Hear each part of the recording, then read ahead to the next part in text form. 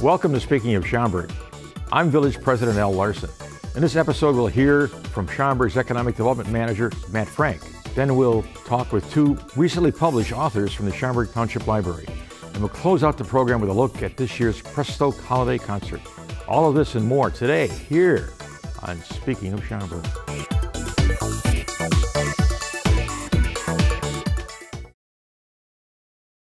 With 9.5 million square feet of retail, and commercial space, 12 million square feet of office space, and 13.5 million square feet of industrial space, the village of Schaumburg is the largest center of economic development in the state of Illinois outside the city of Chicago. Joining us today with an update on the village's economic prospects is economic development manager Matt Frank. Matt, welcome to Speaking of Schaumburg. Thanks for having me back. So, what are you doing here? What is this economic, you know, where do you find economic development?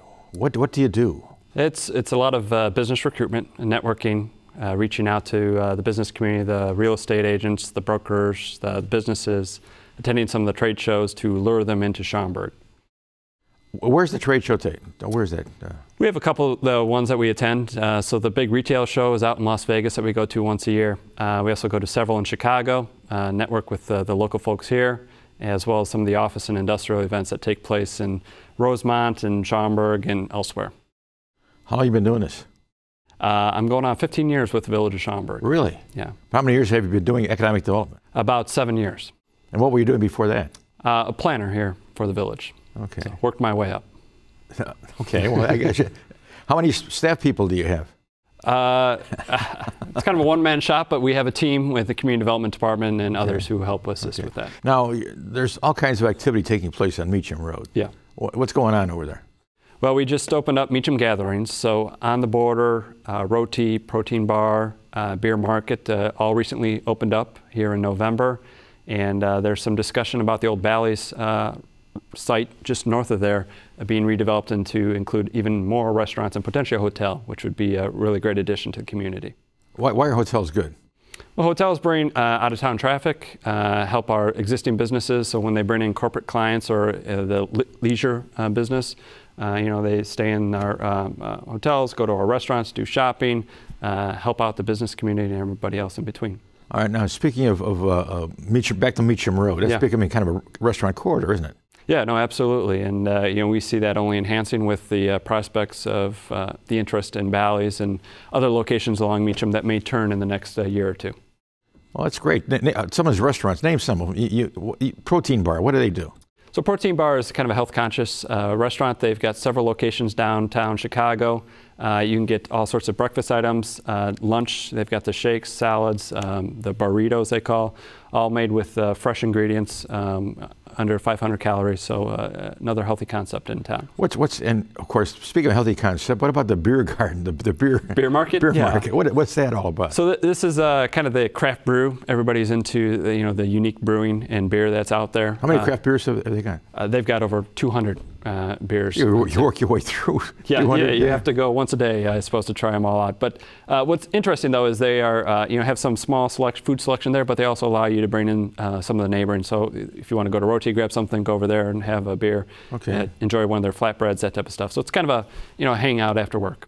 Okay, oh, and and you mentioned the, the Bally site. What what what, what, what, kind of uses are, are going to be? You said a restaurant and, and, and, and yeah, it's our hope. You know, the, there's uh, Egg Harbor has been looking around in town for quite some time, so Egg Harbor I think would be a great addition, another breakfast uh, restaurant, and uh, serve the hotel guests as well as the businesses in the area. Uh, we're talking to. Uh, They're open half a day, or, or? Yeah, breakfast and lunch. Okay. And then uh, yeah, there's talk about you know uh, Uncle Julio's been looking around Kona Grill. Oh wait, wait, back up. Yeah. What is Uncle Julio's? Uncle Julio's is, is a pizza a, place. No, no, it's uh, Mexican. Uh, so, ah, okay. they've got location River North, very nice. Okay. Um, so they're out there. Kona Grill is kind of a Hawaiian fusion sit-down restaurant. They would also be a wonderful okay, addition. besides pineapple, what would you have at a Hawaiian fusion Pork, beef, and some of the other beans. I would imagine. Yeah. yeah. Okay. So, yeah. but no, no, a very uh, uh, uh high-end uh, restaurant. So. Uh, we're getting a, a, mix of uses out. Uh, they recognize, you know, the Meacham Schaumburg location as a place to do business. So it's interesting because it used to be uh, have to be on Golf Road, right? Yes. And and now it's kind of they, they like Meacham Road now. Yeah, absolutely. I mean, the opportunity is there. You've And, got and they like Streets of Woodfield. Yeah, oh, absolutely. Streets continues to do very well. They're nearly 100% occupied, and the restaurants and uh, retailers over there do a phenomenal job. Are we going to ever run out of uh, restaurants here? I mean, uh, Well, uh, we, we hope not. We're, you know, we're looking to uh, bring some of that energy north of 90 uh, by the convention center, uh, create a uh, TIF district up there to help bring development. And so we're calling for an entertainment area over there that convention goers and residents in that area can walk to. So uh, we imagine a few more restaurants up there would be uh, ideal for that. now the, the, you know the, the the hotel that's coming in and, and the restaurants that are coming in right now are not in a TIF district, are they? No, they're not. No, they're so they're re- providing a great deal of, of uh, assessed valuation to, to some of the taxing bodies, right? absolutely. I would think that District 54 and 211 would be, very pleased to see that kind of development taking place in Schaumburg. Yeah, it's, you know, we've got great locations and uh, still some vacant land, so people are taking advantage of that. Now we just want to kind of spur some of that investment north. Now, what about residential? What kind of residential development is taking place in Schaumburg or, or poised to take place in Schaumburg? Well, Pleasant Square is under construction now, so they've got 10 units uh, in construction right now that are sold. at Pleasant the Square would be, Schaumburg and Roselle. So this is a long-awaited project that uh, we've been planning and working on. Um, so it's great to see it take form just south of uh, uh, the Baptist Church there. Um, so those 10 units hope to be uh, occupied in the spring, and they'll continue with the construction uh, next year. A, a great deal of interest. But I, I understand they- they got some sales over there. Yeah, they've already got 10 sold. They got a VIP waiting list of over 200. So uh, yeah, MI Homes is doing a fantastic job of uh, marketing the product, and it's a great location. So you know, right in the heart of Schaumburg. Now, that- that's row houses and townhouses. And And then uh, a small strip of single family along Pleasant. how many single family homes? 10 homes. Okay. They're going to be custom? Uh, yeah, semi-custom. All right. Who's developing that? Uh, so Warren McElwain, uh, who is one of the uh, uh, project founders, is uh, uh, going to do the single family and the townhome developments. MI is doing all the row homes. Now, I understand that Lober Brothers has finally sold their, their or have something, have someone have, has a contract on their property up there, up there north International Village. Is that correct? That is correct. So uh, DR Horton is looking at uh, reviving that project, and that would be roughly 50 lots uh, for semi-custom, high-end, single-family homes. Very high end, I, I would imagine. Yeah, I think we're approaching a million dollars for. It's a beautiful piece of property with Sure the creek is. and the trees and everything like that. So, I know you have Martha Dooley doing, uh, she's the point person on that Mhm. project, and she, she certainly knows a lot about trees and, and shrubbery and Yeah. vegetation and landscaping. yes, it would be a beautiful neighborhood if uh, they And move what, what, what's it. happening on Schaumburg Road, just, just uh, across the street from the, from the post office? Post office? Yeah, uh, Coventry. Or the uh, township, I don't know. Yeah, the Coventry Woods is what the development's called. So American Colony is uh, proposing 12 single-family homes over there. American Colony recently did the Georgetown development down at Irving Park and Wise. Um, they want to come back and do some single-family over here. And again, that's another beautiful piece of property. It's unincorporated, so we're working on the annexation uh, to bring that in the community so that Are you, you sure we didn't do that at the, the, the last board meeting? Uh, The annexation, or, that we had to postpone the annexation last board meeting. Ah, Um, okay. so All right. hopefully we'll do it in December and get them all lined up to go. Okay. in Those are, those are big lots too. I mean, what, Yes. 12,000, 14,000 square feet. Right, Foot lots, right. which are a lot bigger than the, than the quarter acres that, that we, we've had. So that's going to be a nice subdivision. Yeah. So uh, any there's there, aren't there some uh, properties along Lincoln? Yeah, there's a small um, uh, development by Lincoln and Thacker over there uh, that uh, looking to do six homes. Um, so we're working with them on that uh, uh, that review process. Um, so yeah, it's all these infill sites. You know, as the economy comes back, housing market is bouncing back as well. So uh, you know, Schaumburg's obviously with the great schools and park districts and location, it's a desirable place to live. So we're seeing some of these builders take advantage of that. and we have quite a bit of industrial development, don't we? We do. Yeah, we uh, you know this past year we saw Shigaya open up another Japanese business here in town. Open More up. Japanese companies in Schaumburg than anywhere in the state of Illinois. Yeah, absolutely. And another one coming next year, Sunstar. Uh, they do the uh, dental products and toothbrushes and uh, flosses and everything like that. So they're building their uh, headquarter facility next to Medieval Times, uh, bringing 400 jobs from Chicago to this gorgeous new facility. So Yeah. we're excited about that. And um, yeah, uh, we've had several uh, businesses fill some of the vacant down in Yeah, Spectrum. yeah. So uh, we're continuing to see some more uh, interest in. And the airport's doing well, Airport continues to uh, provide a wonderful amenity and and the helistop. Helistop's uh, still there. I s- occasionally see uh, the choppers from the traffic uh, Yeah. folks go up and down. Okay, well, Matt. All right. Thanks for being on the show. It's I appreciate there's a lot more things to talk about, but uh, Yeah, 2014 will be another great year for us. all right. Well, thank you. Thanks, Matt. Next time you stop in at the Schaumburg Township District Library, you might see some familiar names on the shelves. Find out more next here on Speaking of Schaumburg.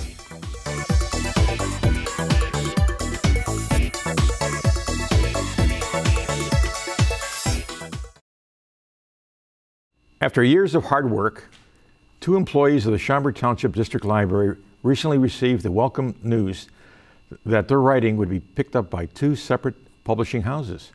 Joining us today to tell us about their books are authors Susan Miura and Amy Alessio. Well, Hi. welcome. Thank you. Uh, what are the books about? And, and, and who wrote the first? I mean, how did you do this? I'm going to write a book. Oh, I'm going to write a book too. Well, you know, Amy got her contract first, so you can Yeah. go first. I took a writing class a few years ago with uh, Joe Konrath, who's a well-known writer who lives in Schaumburg also. And uh, it was about six years ago. It was a teen mystery about a girl who's embarrassed by her Civil War reenacting family.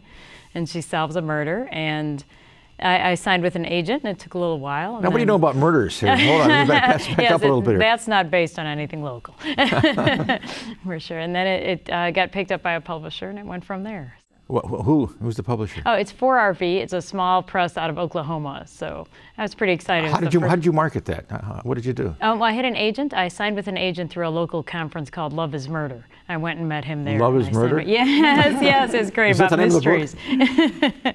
It should be the name of a book. I like that. What- what- no, my what- book is uh, Taking the High Ground. Okay, all right. Civil War reenactment. Huh? Yes, she's embarrassed by her family doing that. My husband and I used to do it, and there are so many funny things with that. So I knew that it had to be a Wh- book. what were you? Um, well, I wore the hoop skirt and the outfit, and I did quilting demonstrations, and just even like folding the hoop skirt to get in the car, you know, things like that. I have and that had problem the- too. So it's a big problem, although now I have a bigger car. But And her character is, is wearing uh, the Civil War costume yes. on the cover. You might yes, want to. yes, Oh, yeah. holding her cell phone. Really?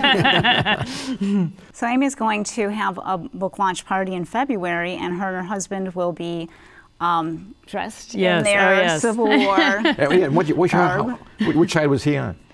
Oh, oh, we were with the North for sure. Although somebody has to reenact both sides to make it accurate. But we are. We're going to let teens dress up in my outfit. We're going to have like a Civil War crime scene uh, for them to solve. It'll be fun. Oh yeah. I think the weapons are always. a I know, hit, right? I know, but That's uh, what they like the best. Well, Susan's party is first. We're looking forward to that. So. Now tell me about your book. Um, my book is about a 16 year old deaf girl who gets kidnapped, and that happens right in the beginning, so it's not a spoiler or anything. And then the 17 year old boy who um, really liked her and wanted to go out with her is a prime suspect in the kidnapping. So, chapter one begins with him being questioned by the FBI. And throughout the book, he's trying to find her. And um, so the, there's alternating chapters with the girl who's you know kidnapped and in captivity, and the boy who's trying to find her. My my. What's what's the name of the book? The book is called Show Me a Sign. It was published by OakTara, which is a publishing house uh, local to Illinois. It's uh, based out of Wheaton. And um, the book launch party is going to be December 9th at the library at 7:30 p.m. And it's a, it's a Monday night. You're invited because it's for adults and teens. And um, we're going to have a martial arts demonstration with a local uh, martial arts academy that just opened up recently in Town Square. Okay. And they're going to come because the girl is Yeah, I see, I kidnapped. see the thing in- on the windows, and but down, uh, drive Uh-huh. past it. Yeah, yeah. so, since the girl is kidnapped in the in the beginning of the book, um, we're going to show teens and adults how to prevent being grabbed uh, by somebody, like some self-defense moves. Sure, And we're going to have cake and prizes, and um, it's going to be How, fun. how long did it take for you to write the book? That's a good question. When people ask me that, it's hard to say because you're not just working on the book every day. Like I've got four man- complete manuscripts, and they've all been um, written and revised over a period of seven years. And then I'm doing that in addition to my full-time job and being a mom and everything else. So I don't know how it would, how long it would take to just sit down straight and write a, write a book. Okay, okay. You know. Two years, three years, one year, four years. I think it depends on the book, but like I said, this one probably my first draft of it was completed about four years ago, and then since then I've been revising. Were you working with somebody when when when you uh, uh, were doing the book, you know, was, was somebody looking looking at it? Did you have somebody Yes. read it and yeah. check it? And I have what I call critique partners. Okay. And um, usually other writers, and then I've also I had also entered it in contests where judges would look at it and they would make suggestions. In fact, I won um, a writers contest with with this entry. okay, Uh, so well, that's, that's that's something. That's really something. yeah. I wrote a column on, on, on nature and wildlife for three years for the Cleveland Plain Dealer. Oh, Uh, every every Sunday, I was I was in the Cleveland Plain Dealer. plenty of topics you can cover with that. uh, yeah, yeah, really, I had a chance to to, to uh, write about my kids' interaction with nature and with animals too. Oh, So- nice. That must have been kind I, of I fun. was getting notes from little old ladies and how, much, how much they liked it. About the squirrels in their backyard. yes.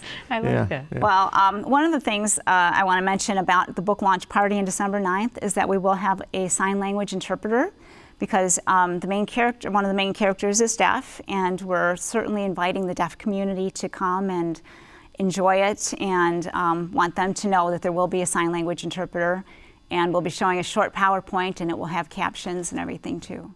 Now, what's what's the first piece of work that you that, that you've ever, ever written? You know, I'm really glad you asked because Amy and I both had short stories published in this book, Missing, four years ago, five Yes, years ago, it yeah, was four. well, f- yeah. And um, Missing uh, was edited by Amy. It's a, s- it's an anthology of short stories, and everything, um, every story is about somebody or something that's missing. And um, the proceeds went for the John Walsh. what it was a, uh, for an organization of for, that helps find missing children. Oh, okay. Yeah, and half the proceeds from Show Me a Sign will be um, donated to organizations that help uh, victims of human trafficking. Okay. All right. Now, how did you? What's the first thing you've ever ever written? What- Boy, yeah. I think in grade school, but we won't go back uh, that far to those works of art. Uh, I uh, was asked to write a short story for an anthology of right before that one with the same characters, and so that was about five years ago. I also have been written a number of librarian books, which you know are, are hot bestsellers. Uh, you know that everybody's By familiar with. anyway. You got it. Yes. Amy's very innovative and comes up with a lot of creative programs for teens. Okay. So, yeah. well, with the teen yeah. center there, that's got to be you know really helpful, then, isn't it? I mean, It is. And her books are all well. You know, I'm, you should be telling No, we're good for I each keep other. jumping in. we encourage each other through this whole process. Um, I wrote books about teen programming. I have one coming out about teen mysteries, uh, which helped a lot as it gave me ideas how to promote uh, this one. So while I was working on that, it's a lot of fun. So I write those for the American Library Association. I have a few it's more. got to be kind of daunting to to to to uh, decide to write a book, and and, and the pro- the whole process, like giving a speech or a presentation. Yes. There's a there's a beginning, a middle, and an end. You know, and there's some people get the the first two and the third one, they they don't know how to end, so they say, well, and that's it. You know. well, and the thing is, even when you come up with your beginning, middle, and end, as you're writing, the characters tend to take on a life of their own, and sometimes things happen that you hadn't intended to begin with, and conversations. How could she do place, this? And, and so, I mean, I actually ended up having, believe it or not, a, a gorilla in my story, which I don't even like gorillas. how did that gorilla get in the story? Somebody slipped that gorilla in. And, Were, um, were you eating a lot of bananas at the time? I time? don't know. but, um, well, the girl in the story is the daughter of a zoo veterinarian. Yeah. So it, it just happened that way. so there had to be a gorilla. If I want to buy your book, where do I go? Quickest and easiest way is Amazon.com, and uh, mine is also on OakTara.com. And Amy's, yours is also on. Uh, uh, 4rvpublishing.com. Do you, do you have them? At, uh, uh, do you have them at the library too? We do. yes. Absolutely. Little Oh, stand- yes, little stand here with- definitely. Okay. we should have said that. Probably. Yeah. Well, that's great. That's great. Thank you. Thank, thank you for being on the show. Thank you. Thank you. It's time again for the Schaumburg Youth Orchestra to celebrate the season with an evening of holiday music and lively entertainment. Find out more next here on Speaking of Schaumburg.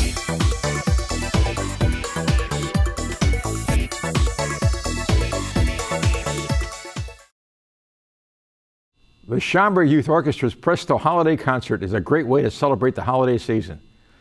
Here to tell us about this year's show, our youth orchestra manager, Rob Palekas, and orchestra director, Joe Momquist. Welcome to Speaking of Schaumburg once again. Thank Once you. again. Glad Once to be again. here. Yeah, absolutely. Rob, tell us about your, uh, your show. Okay, Joe. Oh, the holiday wha- show? What does? Tell me, Joe. You're on. Tell us about the show. Uh, some going to be some fantastic music. We've managed to find a lot of holiday music uh, uh, that's festive, um, that, that's challenging for the orchestra. It's not just your ordinary Christmas carols, but it runs the gamut. You'll find Christmas carols dressed up in full symphonic garb. Oh, really? All the way down to excerpts from holiday favorites such as Hansel and Gretel and the Nutcracker. I noticed you said Hansel and Gretel. I, I've always said Hansel and Gretel. Is it Hansel? I have no idea. Well, now how Just- come you? Hansel und Gretel is Ah, the proper okay. way. Back Hansel- in Schomburg, that's how they would say it. Okay, The old Schomburg. please proceed. by the famous The Engelbert Schomburg. Humperdinck. Humperdinck. There really is such a man. The, Hu- not, not Humperdinck. Not, not the, yeah, not Humperdinck from uh, what is it, the Princess. I know, but I thought, it was, Yeah. I thought it was pronounced the same way. No, is it because it's Germanic or Teutonic? I think so. Okay. Uh, I think what I like going back to the program, what I like about, about the music that, that Joe selects is that it's not it's not some of it's not specifically holiday music. Uh, I think there's music that, that evokes that, that kind of that holiday feeling. Um, we're doing uh, some Vivaldi. Um, the All the uh, Four Seasons. um, was it actually the, the double trumpet. Yeah, it's a trumpet concerto, uh, but, but very festive sounding. okay. Right, and, and it just lends itself to the to that. Uh, we have, we actually do uh, we're going to be doing um, an intermezzo. Um, uh, Fro- by Mascagni, it's from an opera. It has nothing to do with Christmas in any way, shape, or manner, but it's very reflective. So it's just. But you are going to do some traditional Christmas. Yeah. We Three Kings, Oh Holy Night, uh, Sleigh Ride. We have guest conductors doing that. Uh, it, uh, you know, it really runs the gamut from from Baroque, from from uh, 18th century Baroque to 20th century. Uh, you know, kind of pop, more. You know. Now you do things other than pops. just play music. I, I know you, you you have some. Uh, Yeah, we. Uh, you have a kind of our- loose a loose script of some This sort. is pre- loose is a pretty good word for it. Presto uh, started in 1999, and we wanted to we wanted to set out to we uh, we set out to do something than just a holiday concert. Uh, so we we had a narrator uh, narrate the first concert, um, and and just do little just kind of amusing uh, bits uh, in between the numbers. It kind of tie it all together. Uh, and, and it played very well. So we thought, well, we can't let the audience, you know, down. They're going to want to see more of this. So, so over the years, we've kept putting, putting in more characters, more narrators, uh, and the show kept getting longer. And it got longer. longer and longer, and now it lasts. Um, is, I don't know, not two hours, not even two hours. It's it's nice and it's a it's a nice. Yeah, but it adds a nice flavor to it, though. It adds a nice flavor to it. I think I think it just kind of it just gets people in the mood, lets them forget uh, the holiday rush. You know, it's on a Saturday. They might have been shopping all day. Now, now I've asked this before. Well, I'm going to ask it again. Presto, where did the name come from? Come from? That's an old one. It is. Did you come up Uh, with I think I did. Yeah, we uh, it, it started as a children's concert series back in 1995, and we were looking for some just something to call it. And Presto just seemed as very energetic. You know, it's something that kids could. You know, you think of a magician, Presto, sure. changeo. And it- uh, it's a musical term. and that it's a means musical very term. quick and lively. Ah, okay. Right. And, and what, one of the, the great things about the shows that Rob puts together is it, it's about it's a it's a youth orchestra. It's not um, supposed to be about putting on shows. It's it's not a show. It's a concert. But he manages to find a way to add this extra element to it without detracting from the musical aspect. So the kids never feel like their music and their playing is subservient to just being part of a show. They really are the show, and the show works around them. Right. Yeah. The, the stars are, are You're the going to you're students. arrest the har- harpist again?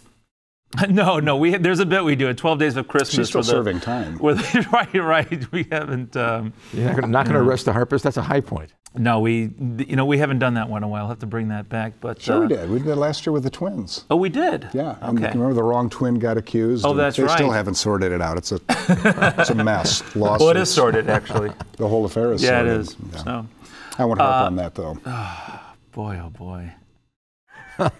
um, Come on, guys. Come on, guys. I'm, I'm, I'm lost now. I can peddle more of these I if you knew want. you were going to say something like String that. you along a little oh, gosh. You can edit that out. Uh, right? Le- leave that in, will you, please? I want, I, want, I want people to get the flavor of uh, what, the, what I have to put up Oh with. man. Uh, back to the music though. The kids, uh, and I, hate to call them kids. How, young how many are? First of all, how many are there? We- how got about 70 in this group. 70. You know, it's it's a it's a large orchestra. It's a full orchestra. You've got you've got your whole complement of, of winds and brass and strings.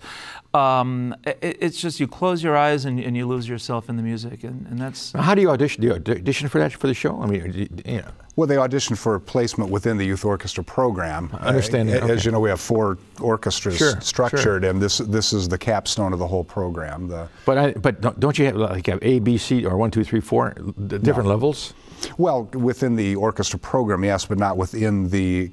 How do I say this? Uh, there's four levels of orchestra, but within the orchestra, we don't audition seats. They're they're they're placed in the first. It's like if you were in a choir, you don't think for a moment that are you standing 17th soprano or you- you're just in the soprano section. Yeah, but I mean, uh, So- you, you have more than a, uh, you s- said how many people? Seventy. About 70 You have this more than that number in w- within the program. right. Yeah. yeah. The other kids are are working their way up to it. Yeah. Okay. So. Misunderstood your And, question. and it's No, it's a uh, we'll cut that out. We'll take it out We don't have seven. Well, with the harp stuff. Do you know it's a big year for us? is it really? Very big year. 25th Why don't you interview me here? You know, give me a. What do you think of the orchestra? I think it's great. If you close your eyes and, and, and blot out some of the silliness that takes place, uh, the no, it, it, you you think you, you had the Chicago Symphony. There are times there are times when it, it the, the, the tone is so pure, the music is so so great, uh, it, it just you just lose yourself in it. I'm amazed at the maturity that you get out of these students. They play very, very, and, and for this year in particular, it's very uh, mature, expressive control of the music. If I choose the music well and the students work hard, there's no reason they shouldn't sound, at least in some aspects, similar to a Chicago symphony. How long have you, have you been doing this, Joe? 25 years. Twenty five years.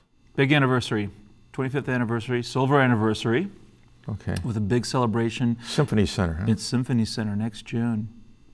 Cannot wait. And who's who? How, how many kids are young? Boy, young- well, we did this five years ago for our 20th. We had over 100 musicians perform, alumni musicians. So we're Okay. hoping to get at least that many. It's going to be a big You're going to get alumni coming back for it too, huh? We will. Yeah, from, uh, I know that we just signed someone up who played for us in 1994 and five. Wait, wait, you Steve said- Reichelt. Uh, So you signed uh, signed somebody? What- well, a, a guy they- who actually are these now- under contract? These he was right. He's not cheap, you know. So he he actually is a uh, does training for our youth orchestra kids. He's a bass player. He started out playing with the youth orchestra, and now he's a professional bass musician. How long have you been doing this, Rob?